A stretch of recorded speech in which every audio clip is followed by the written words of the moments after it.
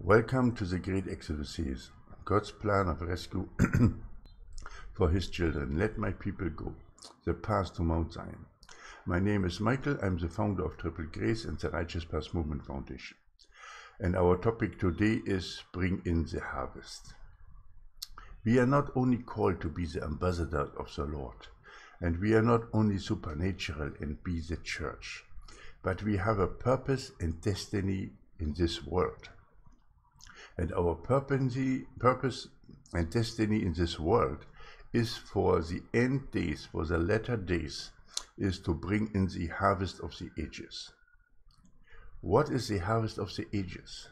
If you read Revelation 6 and the sixth seal, and you read about a multitude that is clothed in white, that nobody could number, a huge multitude, nobody would, will be able to count them, which reminds you about the promise that God made with Abraham when he said, Your descendants will be as multiple as the stars, and nobody can number them. Now, if you look at this multitude clothed in white, who made their garments clean and ready for the Lord through the blood of the Lamb, then you have to ask yourself, from where are these people coming? A part of this group are the martyrs from the, from the fifth seal. Yes, that's true, but not all. The others are, must come from somewhere. And an event must start this. And a revival and a harvesting must come in. So what event could that be? This event will be the escape of the bride.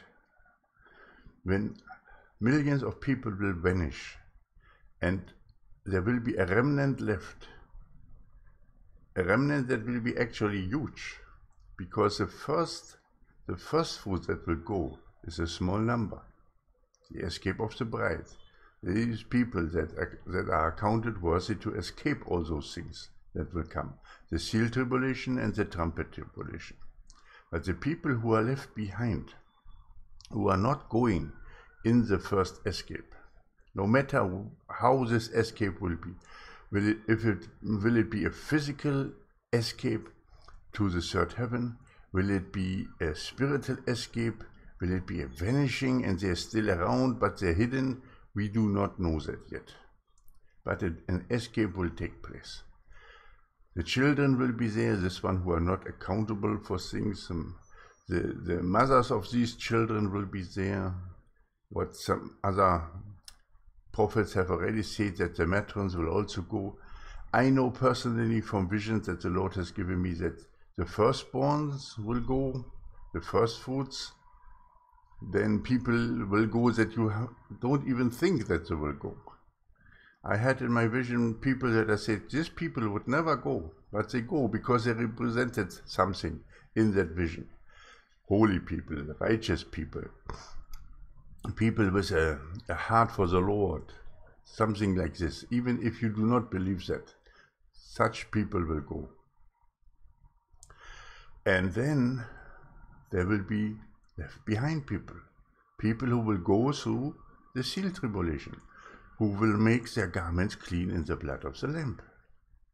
And these people now are suddenly there and they're afraid, they don't know anything what will happen.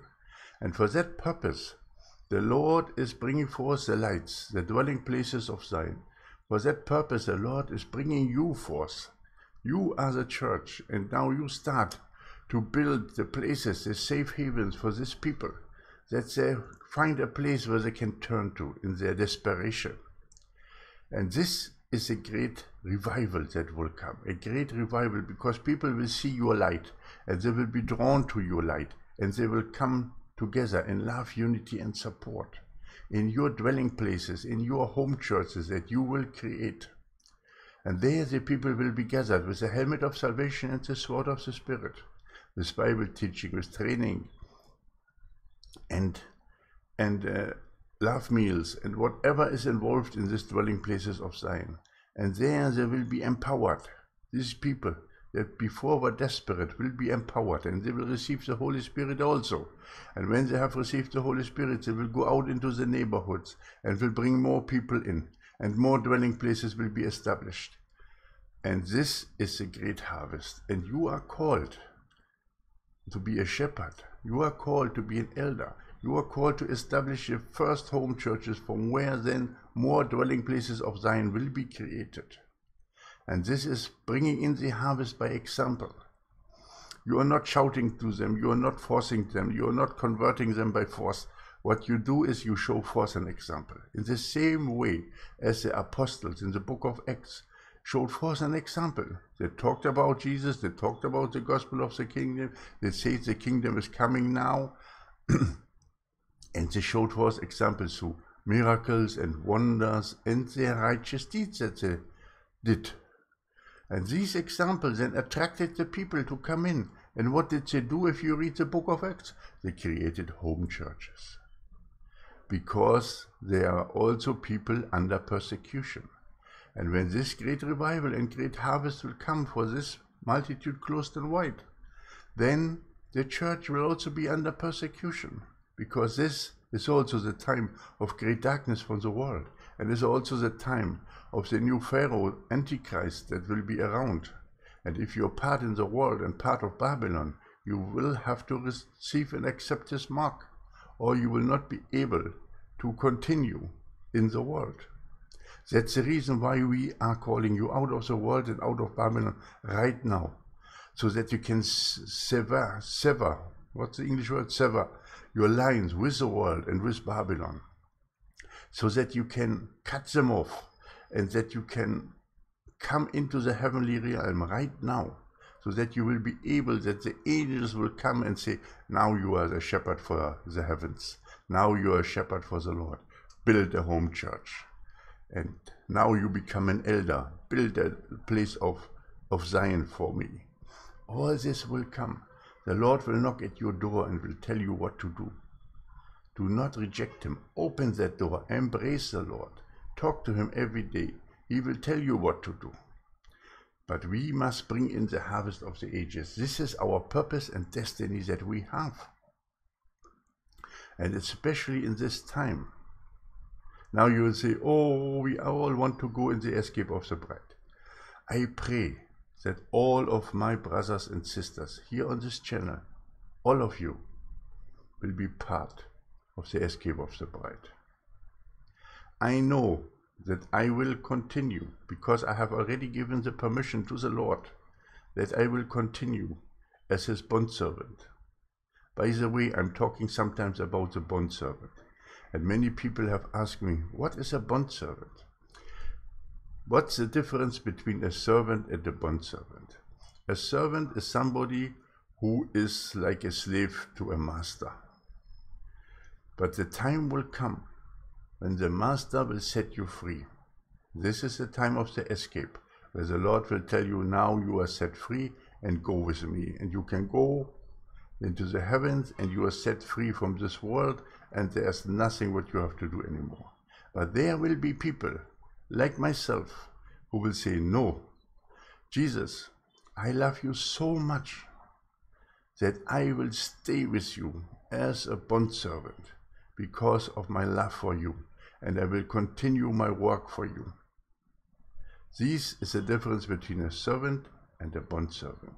A bondservant is already set free but he remains with the master because of his great love for him.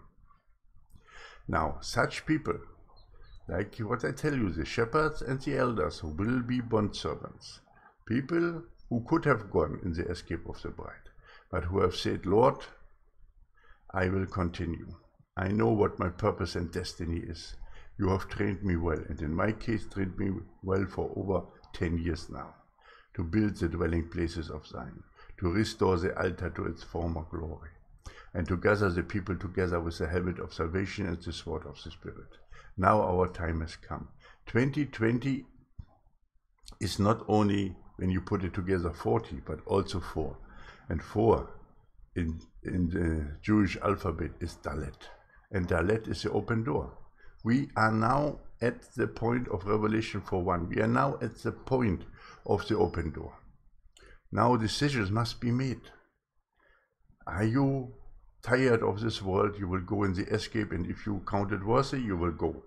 Or are you willing to stand with me continue the path, bring in the harvest of the ages, and then be part of that group, that multitude clothed and white, that will be raptured into paradise at the sixth seal. And then you will receive an extra count for that, because you have given your life, you have given everything for the Lord. You have said, I love you, Lord, so much that I will continue to help to bring in the harvest into the barn of the Lord. And for that purpose, of course, you receive a special crown. Our honors and our results and our things are not in this world. We are receiving heavenly crowns at the time when we enter paradise, when we are together with our Lord and Savior Jesus Christ and our Abba Father, Jehovah Jireh, the great provider, the creator of the universe and of the earth, of everything that you see, that you touch, and that even you think. Everything is created by Him. Now, this was a topic bring in the harvest. I know that not all of you that are listening to these words will be here at that time. Some will go into the escape and some will reject my words. But these people who decide to stay with me will go through a terrific time because the Lord will protect us. He will guide us in our home churches. He will give us a spark that is needed to speak out about the gospel of the kingdom in bold words and with bold voices. And it will start in 2020.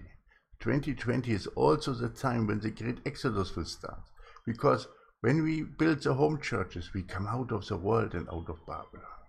We forsake the careers, we forsake the riches, and we forsake the world. We will come out of it and concentrate us fully on the narrow and righteous path towards Mount Zion.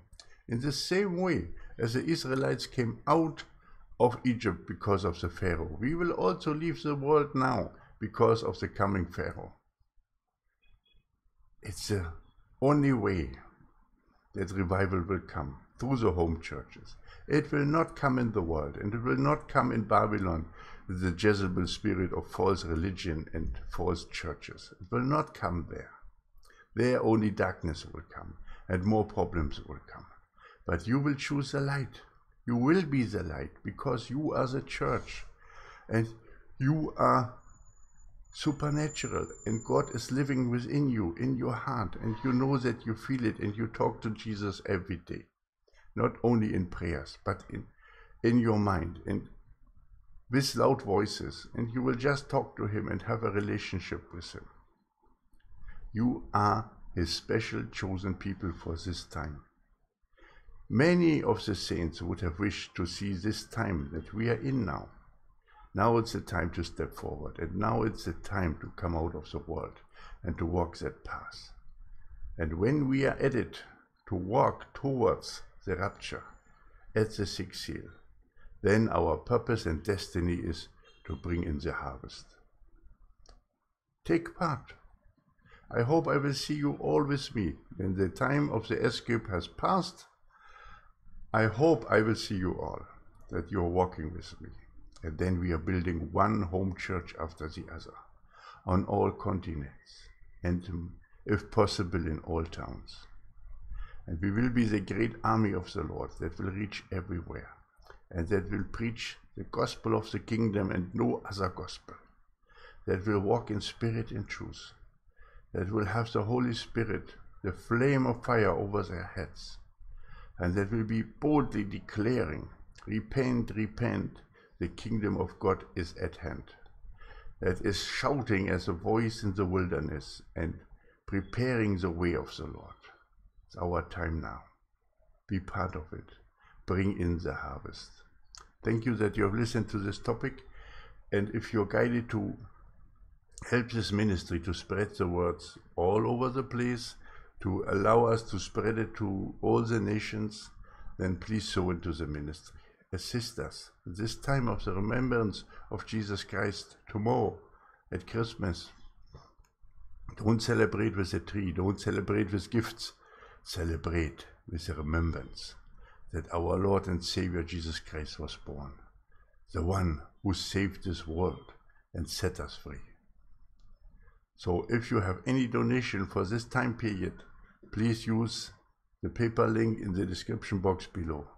Help us to spread the messages and to build one dwelling place of Zion after the other, to bring forth the home churches in all the places all over the world. You are part of something very great. You are part of the multitude clothed in white. Read the book of Revelation and see how the glory of the Father is unveiling in it and how the glory of Jesus Christ is prevailing in it. Praise the Lord and praise our Father that He has given His only begotten Son, so that when we believe in Him and abide in Him, have eternal life. I love you also dearly, and I will see you again tomorrow. Maranatha.